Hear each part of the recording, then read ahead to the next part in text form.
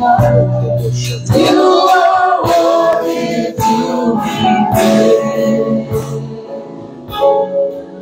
we thank you.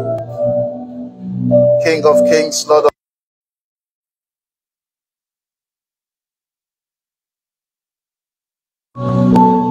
There is no one that can be compared to you. You are the Alpha, you are the Omega, you are the beginning, you are the ending. You are the first and the last. You are the one who has kept us alive. You are the one who has protected us, provided for us, and even brought us into your presence again tonight. Lord, we ask that your presence will be mighty in our midst. Even those who are watching us online, Father, let your presence also be with them.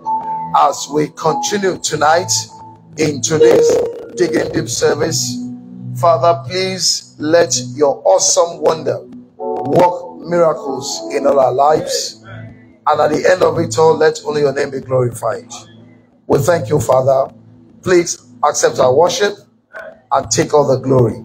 Blessed be your holy name. In Jesus' mighty name, we have prayed. And the people of God, we say a louder Amen. Even as you take your seat, just welcome your neighbor to the right and to the left and tell them, Welcome to your Father's house. We also want to welcome all those who are online. We also pray that God's presence will touch you, will bless you, and your life will never remain the same. There will be evidence of a touch of God in your life, in your family, in the mighty name of Jesus. It's yet another glorious day in His presence. And I believe that for every one of us here, even those who are online, God will show up for us all. Amen. And cause all our worries, our anxieties, our problems, delays, frustrations. He will turn them around into victory and joy in the mighty name of Jesus. Today shall be a day of encounter for you. And if you are the one, I want to hear your amen in confirmation. As you have come into God's presence.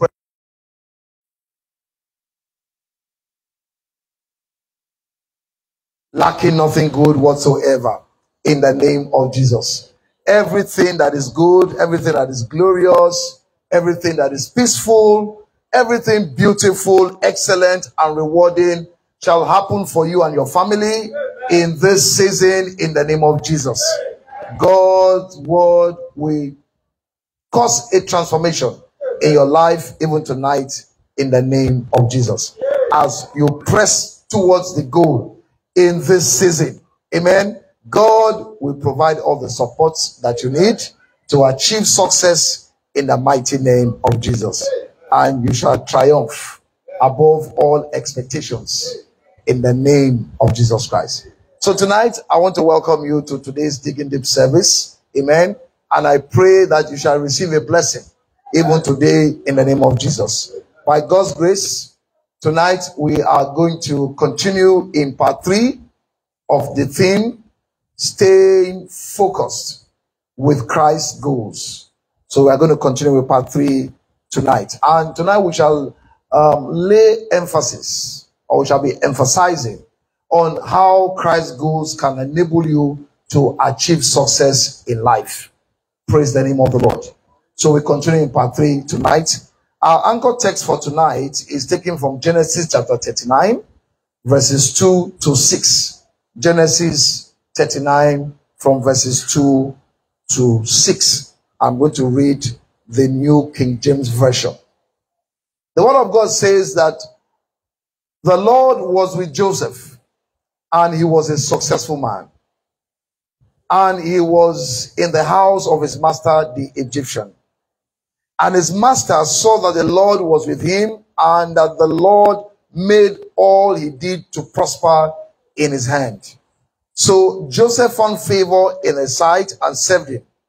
Then he made him overseer of his house and all that he had he put under his authority. Verse 5.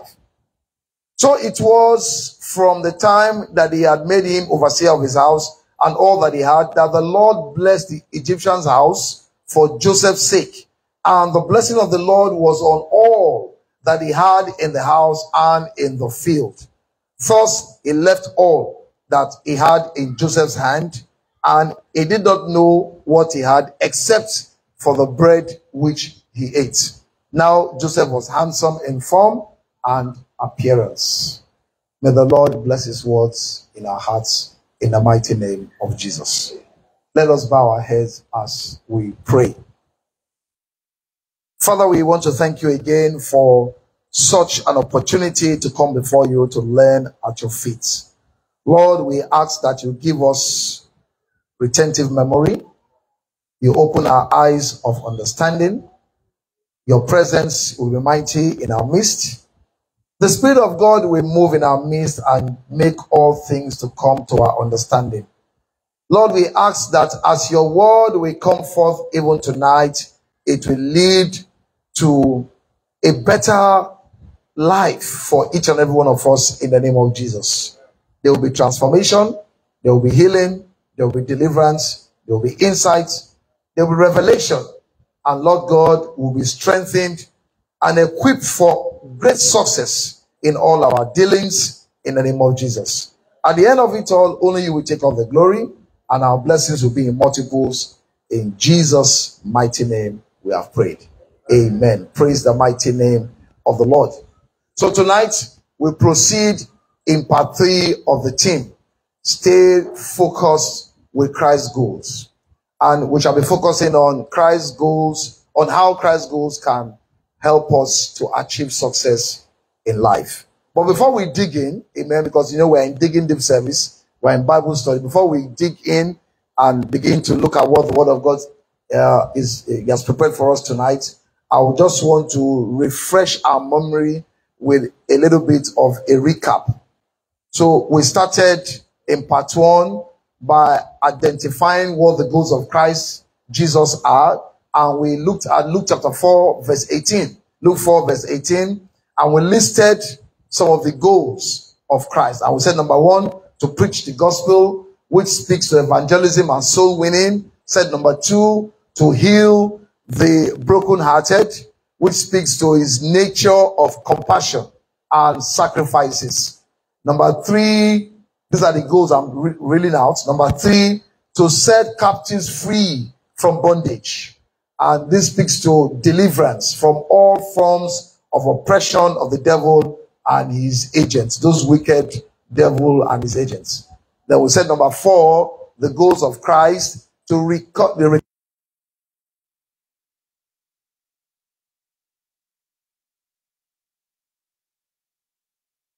through his word on how we truly are and what our expectations are meant to be.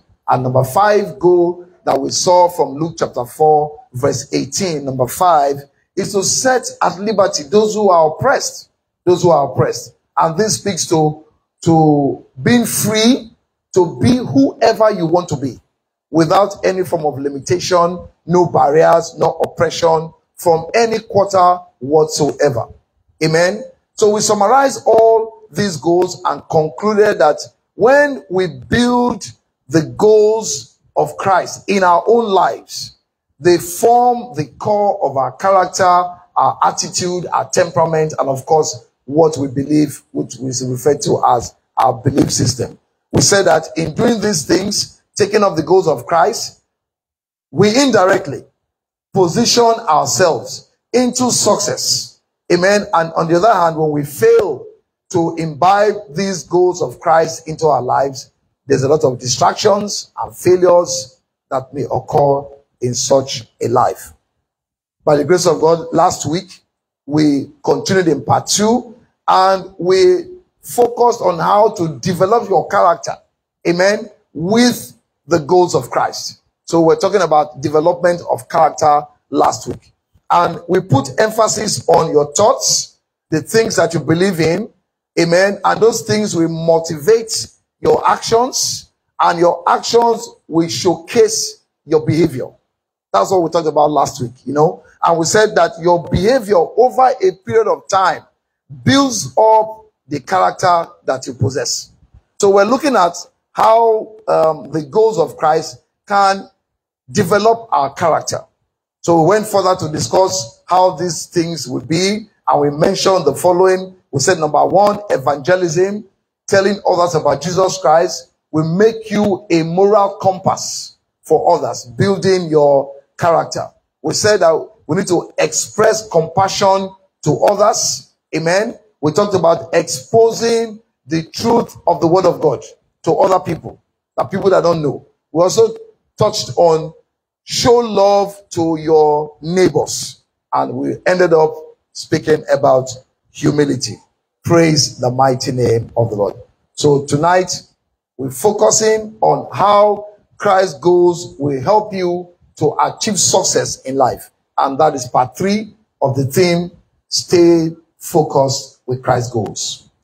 So to best describe success is to say that success is the accomplishment of your desired goals. You know, well, I just try to look for the simplest way, you know, without any big, big grammar, just something that all of us will understand.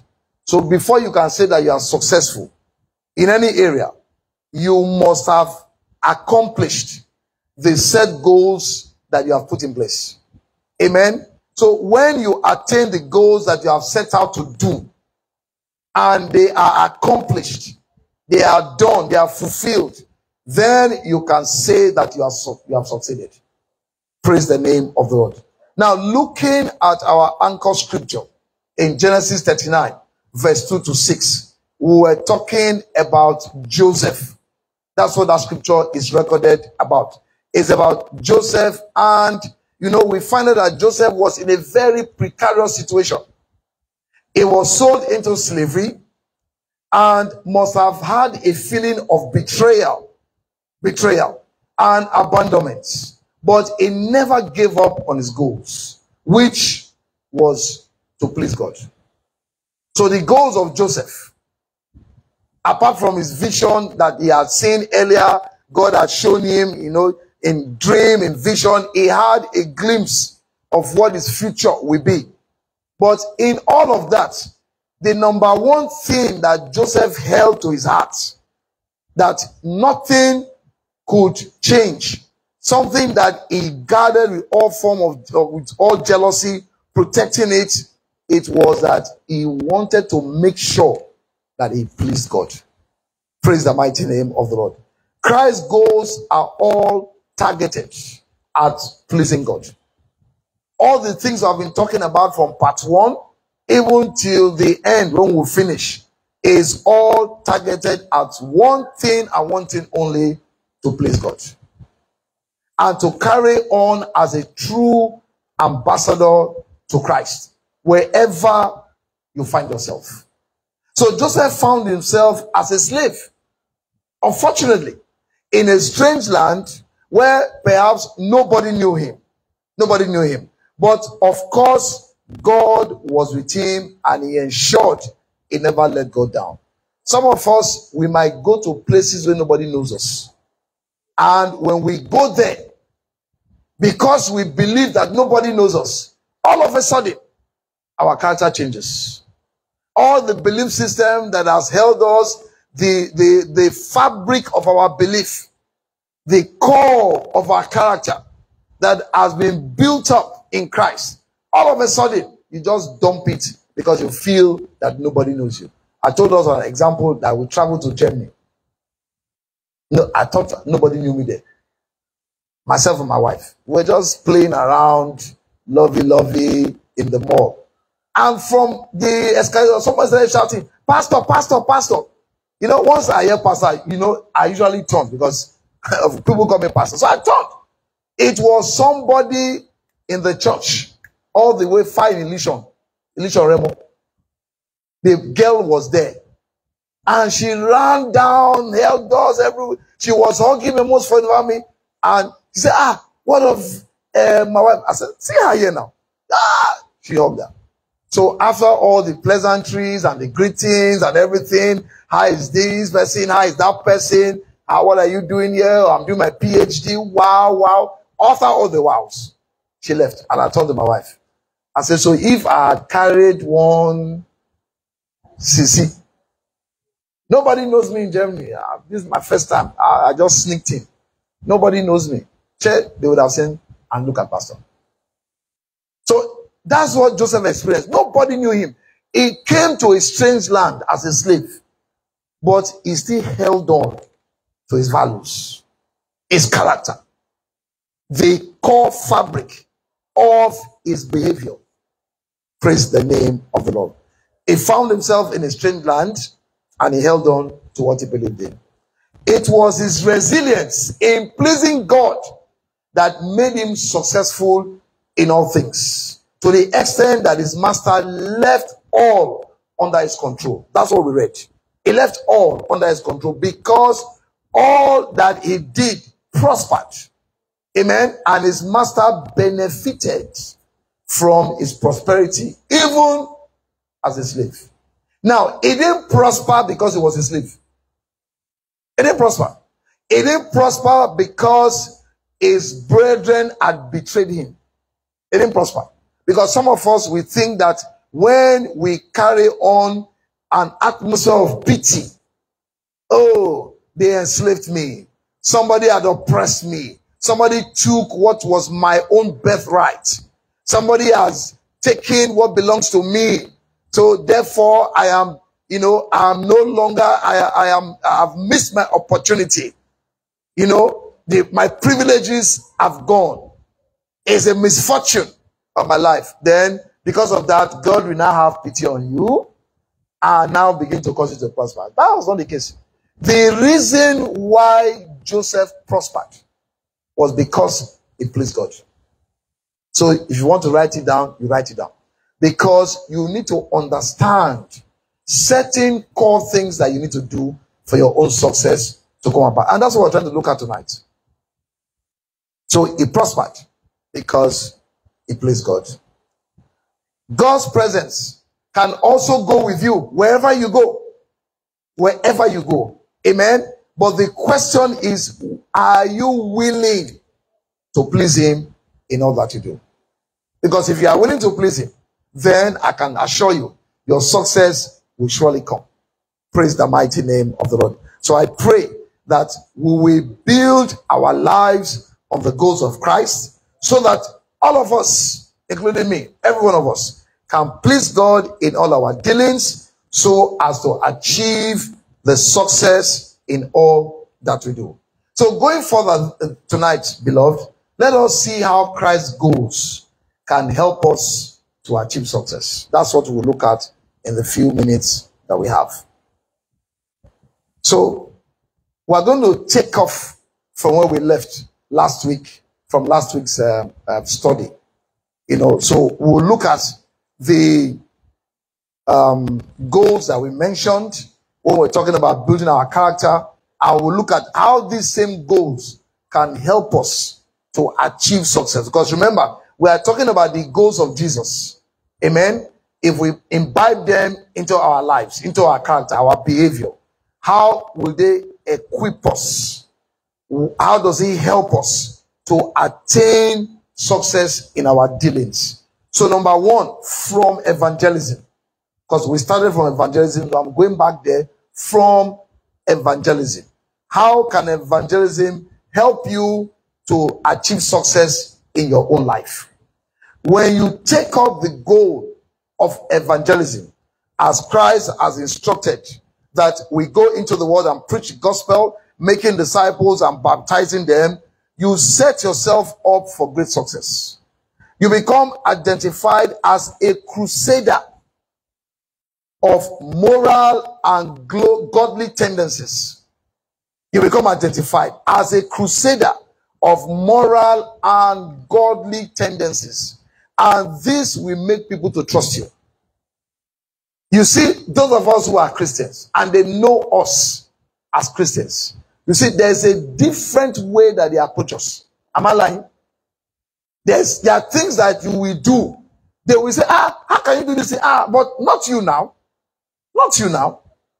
Or they come to you and say, ah, look, oh, please, it's you that can um, judge this matter. Or it's you that can handle this case. See what this person has done. Or say, no, no, no. This money that we are contributing, ah, it's only you that can hold it. Why? Because of your godly and moral tendencies that they know you as a crusader of the word of God. Evangelism. You are always talking about how to get closer to God, bringing people to the light of God, talking about godly things. So people begin to trust you. Even unbelievers, people on the other faith, they will trust you. Because everybody knows that God is all about things that are good. Even the sinner, they know. They know. So they trust you. This is one of the major benefits of a true minister of God. Amen. Not only that, you receive a blank check for answered prayers from God when you partake in evangelism. So, how does it allow you to become successful? It allows you to become successful because every of your prayers will be answered. Now, if all your prayers are answered, what obstacle, what barrier? Because prayers are usually asking God to intervene, to help you, to restore you, to fight your battles, to give you victory, to give you insight. And all these numerous prayers are all answered. If God can answer all your prayer, your level of success will be unprecedented. Praise the mighty name of the Lord. And we know from our, that's our declaration now. John 15, verse 16.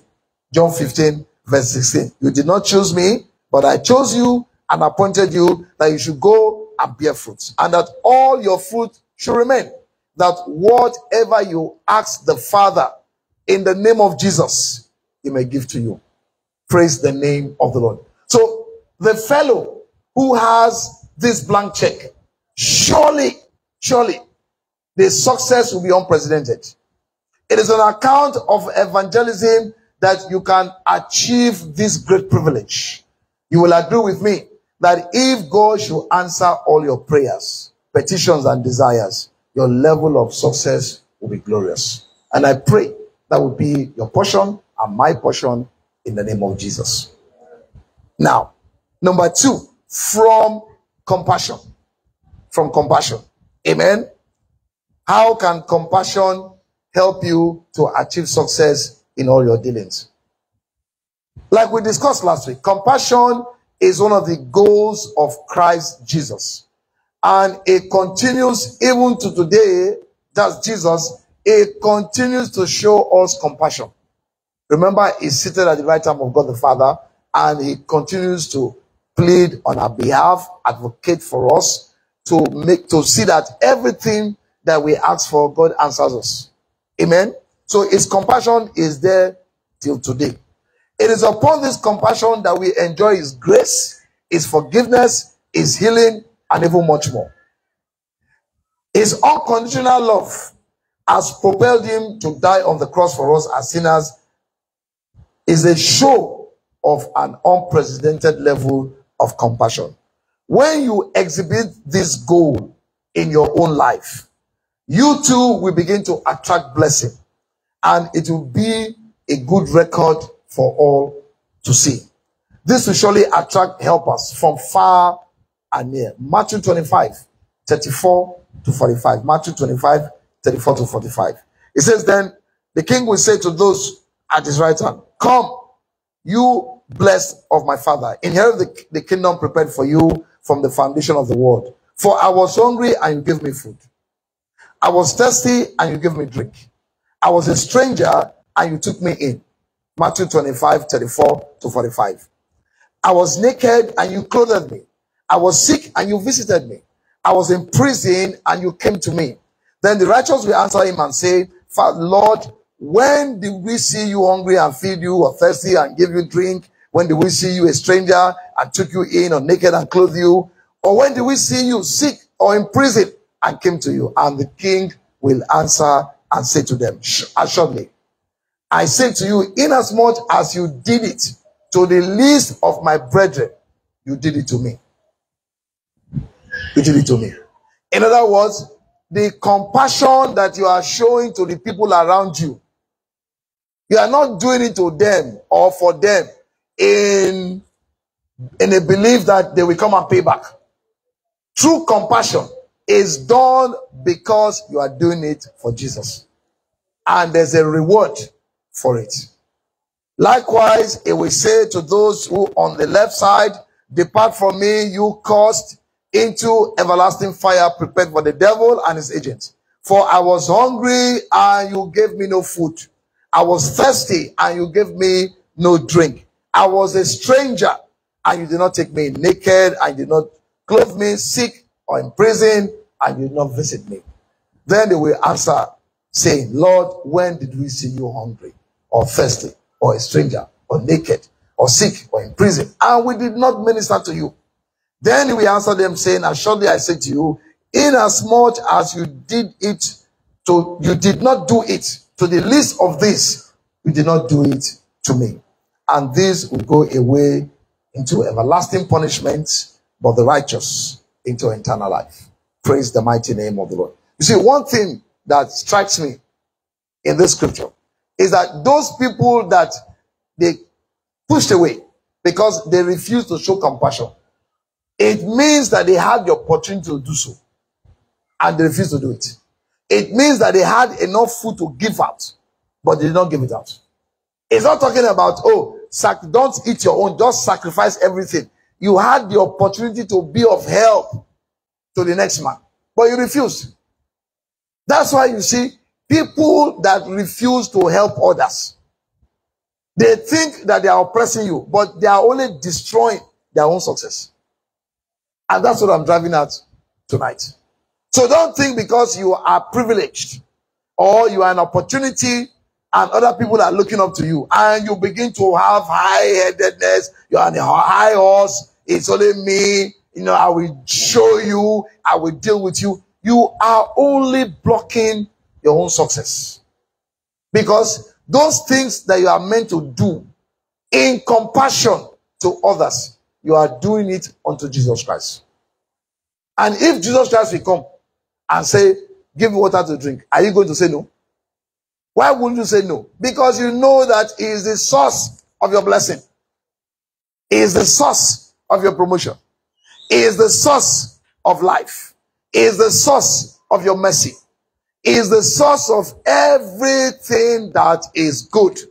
Everything that good that is good comes from above. So if you refuse to give him, how will he give you? So you see, we have to have understanding. If you partake in compassion, what are you doing? You're just opening the door to your own success. God will give us more understanding in the mighty name of Jesus. Number three, we're still looking at the things that we can do, the goals, the goals of Christ that can uh, help you to achieve success in your own life. Number three, quickly, I'll move a little fast now. Number three, from exposing the truth of God's word. From exposing the truth of God's word. Remember that the word of God is the truth and it stands over and above everything else. No matter the fact that you may claim, the truth of God's word will always stand. So when you expose the truth, it means that you first of all discover it. Are you following tonight? Before you can expose the truth of God's word, of God's word, you yourself must have discovered the truth. Amen. You must have discovered it. And it is what you have discovered that you are likely to expose. Amen. So when you discover the truth of God's word that relates to your promotion, your being established, your protection, your increase, your prosperity, will you not surely appropriate it for yourself? Surely. In other words, if you are going to engage in exposing God's truth to other people, what you discover, you will appropriate it. Because if I find out that God is telling me that I can never be poor, I will first of all claim it before I will come and tell you. It's just natural. It's natural. If you find a treasure, are you going to say, Oh, I've discovered a treasure. Let me carry it and give it. You will first of all satisfy yourself. And you say the treasure of God is it cannot be finished. So you cannot say, I will consume it all. You just take your own taking is nothing. Amen. So you will appropriate these same truths that you find out. You will benefit from the truth yourself. That's what I'm trying to tell you. You are going to benefit from the truth that you find out in the Word of God, and it's from that benefit that you can tell others. Praise the mighty name of the Lord. That's why they tell us just tell them what God has done for you. And you hear when people come and give testimony. Oh, I was barren for 10 years. I waited on the Lord. And all of a sudden, God did it for me. Somebody will say, Eh, me that was barren for 15. God, if you did it for this sister that is 10 years, and you must do my own. What are they saying? The truth of what God has done for them is what is causing the other fellow to demand his own blessing or her own blessing. When you find out that somebody that had sickle cell disease came out and said, God touched me and healed me, and you have been battling that same ailment. You say, ah, so God can do this. Your faith is now kindled up. And you begin to demand, God, your prayer will not change. As you did it for sister so, so, so, brother so, so, so, do my own. That's it. That is it. So the, when you expose the truth of God's word, it opens your eyes and you who sees it, you are going to benefit from it. So the truth of God's word will help you yourself to make success. Praise the mighty name of God. Just one example. Second Corinthians chapter 8 and verse 9.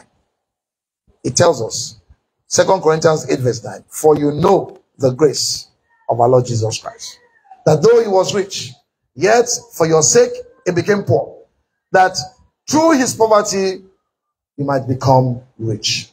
This is the word of God. So someone who is battling poverty and believes that, oh, because of the family I come from, or because of the location, or because of my age, or maybe something that they did in my generation. I can never be this one of God. Everything will turn around. There will be a liberation, and you can break that yoke, and you can also show somebody else. Praise the mighty name of Lord. Now, quickly from loving your neighbor, number four now. From loving your neighbor. How can loving your neighbor help you to succeed in your own life. Amen. Uh, uh, um, the goal of Christ in your life will turn you into a man or a woman of peace. Peace is desirable for success, and the one who encourages peace will always be sought after. A man who is troublesome, a woman who is troublesome, we find it extremely difficult to love his or her neighbor. Matthew chapter 5 and verse 9. Matthew 5 verse 9. Jesus said, Blessed are the peacemakers, for they shall be called the sons of God.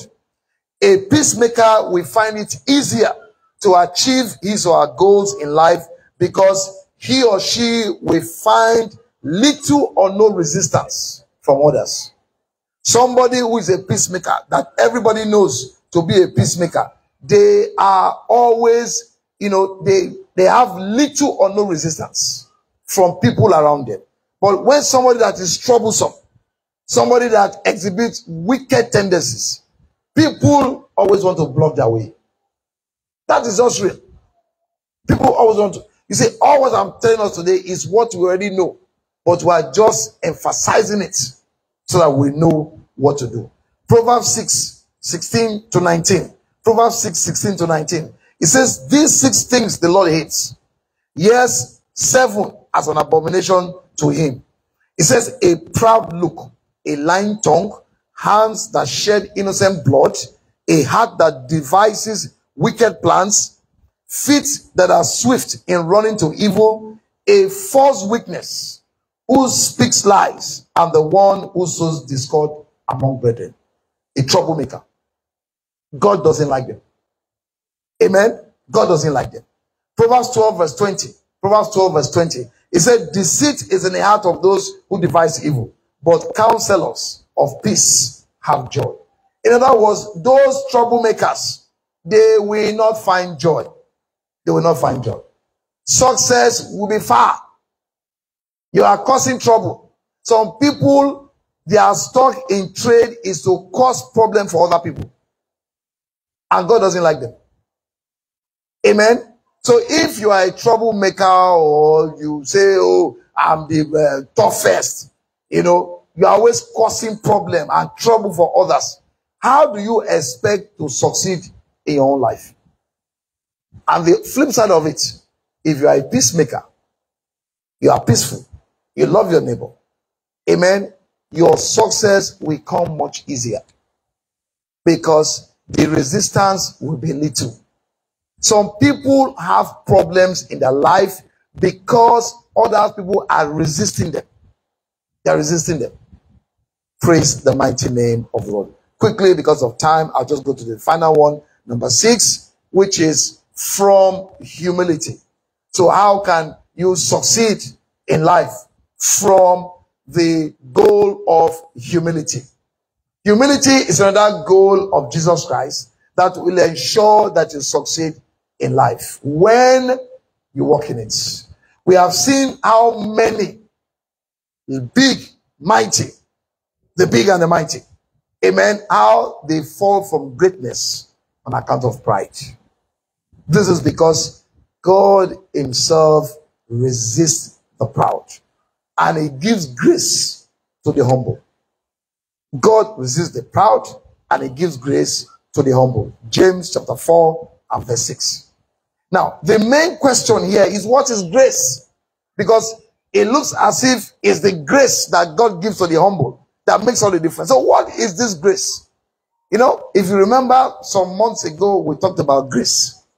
Now, grace is all that has to do with God empowering you, bringing favor your way, putting things in place so that you can fulfill his will and purpose concerning you. You don't have any contribution in grace. It's not about your works. It's not about you. It's not about where you come from. It's not about what you have done. It is all that God brings your way. His power, His splendor, His connections, His favor, everything that God will provide for you in allowing you and helping you to fulfill his will concerning you. And that's what's grace. Praise the mighty name of the Lord. Every strength, connection, favor, everything that you need to succeed is all embedded in the grace of God. So when we say that God give grace to the humble, it means that everything that you will need for your success when you humble yourself, God will give it unto you. So the more grace you enjoy, the more successful you are going to be. In other words, the more humble you are, the more humble you are, the more successful you are going to be. Praise the name of the Lord. And the more proud you are, the more you will fall into failure. Praise Master Jesus. So, in conclusion, tonight, the more of Christ goes in you, the better position for success you become. Everybody desires to be successful in life, but attaining all their goals is not a joke. Joseph had a dream or a vision of greatness, but all things work against him. Everything worked against him fulfilling that great dream. I'm sure at the, the, when he was going through those process of slavery and all that, he might have given up. I said, well, maybe this is not going to come to pass.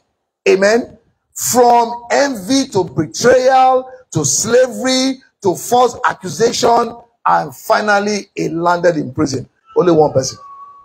But in all of this, he ensured that he continued to please God. He ensured. Amen. Even in prison, the friendship that he made, the friend also forgot about him. He forgot him until God arose on his behalf. Amen. And just one attempt, his success overtook everything that was difficult in his life. Beloved, if you can hold on to the goals of Jesus Christ, if you can continue to please God in the face of trials, in the midst of temptation, in the in the in the challenge of life, betrayals, wickedness, you know, all manner of things that life throws at you. If you can hold fast in pleasing God, all these goals we've been discussing, if you can keep them in the core of your character, I can tell you, your success will be unprecedented. Praise the mighty name of the Lord. So, before we pray tonight, amen, and before we go into the session of question and answer, one sure way to ensure that you please God is by surrendering your life to Jesus Christ. Let nobody deceive anybody. And let me tell you the truth. There is no way you can please God until the grace and salvation of Christ Jesus is speaking for you. Nobody can please God on his own. You cannot. Amen. God must come, you must come into that grace that Jesus Christ is providing. It says that I am the way, the truth, and the life. John chapter 14 and verse 6. I am the way, the truth, and the life. If you can allow yourself to submit to the supremacy of Jesus Christ, the grace and the strength and the ability to please God will be empowered into your life. And that's why I'm making this call tonight. That anyone here under the sound of my voice, whether you are sitting here in the church or you're watching online, and you have not surrendered to Jesus Christ, the tendency is that you will fail God. The tendency is that you will not be able to please God. The tendency is that you will not want to have anything to do with evangelism. The tendency is that compassion will be like a story, a fairy tale to you. The tendency is that you will not be able to love your neighbor. In fact, you will be an oppressor to your neighbor. The tendency is that you will be proud and you will not have any form of humility. And your success might just be a mirage. So tonight, if you will surrender your life to Jesus, you will be on your journey to success. So while all heads are about, if there's anyone that wants to make that, to answer that call quickly, this is your moment. You want to say, Father, I'm surrendering to you. Wash me with your blood. Cleanse me from my iniquities. I need you in my life. Here I am. Anyone like that quickly so that we can pray tonight. Thank you, Jesus. Perhaps you're online, you can make up your mind. God is everywhere. Wherever you are watching from, He can see you. Amen. So if you're going to pray that prayer, it's a very short prayer. You just pray and say, Father, forgive me for all my sins. Wash me with your blood. Tell him in prayer that, please, I am sorry for all my sins. Pray again and say, Father, I believe that you died for me on the cross of Calvary and you say, Oh Lord, I confess you as my Lord and Savior. Write my name in the book of life. And beginning from now, come and be my Lord and my Savior and put me on the path of success so that my tomorrow will be greater than my today. And so shall it be for you. In Jesus' mighty name, we have prayed. Amen. So let's be on our feet as we wrap up tonight with a few prayers Amen. Then we can go into the session of questions and answer. So please, let's um, come to be on our feet even as we pray together. Father, we want to thank you for another glorious and refreshing time in your presence tonight. Lord, we ask that you accept our thanks and please multiply your blessings in all our lives in the mighty name of Jesus. My Lord and my God, I pray that you will lead us in the path of success so that we can have a more glorious future in the name of Jesus. My Father, my God, please open our eyes of understanding to know all that we need to entrench in our character that will lead us to our success in the name of Jesus. I pray that as we continue to press forward in this month of pressing towards the goal, Lord God, we shall break all forms of barriers, all forms of limitations to our glorious successes in the mighty name of Jesus. Let all these things be pulled down by your power in the name of Jesus. My Father, my God, in this season of our lives, position us all for great success. And please let all failures of the past never occur again in our lives, in our families, in our destinies, in the name of Jesus. I pray, O Lord, that we all remain humble, even as you grant us abundance of grace for greatness and success in all areas of our lives, in the name of Jesus. And Father, please make us complete in you and let us not lack anything good. In Jesus' mighty name, we have prayed. Amen, amen, and amen. Let's clap for Jesus. Hallelujah. Praise the name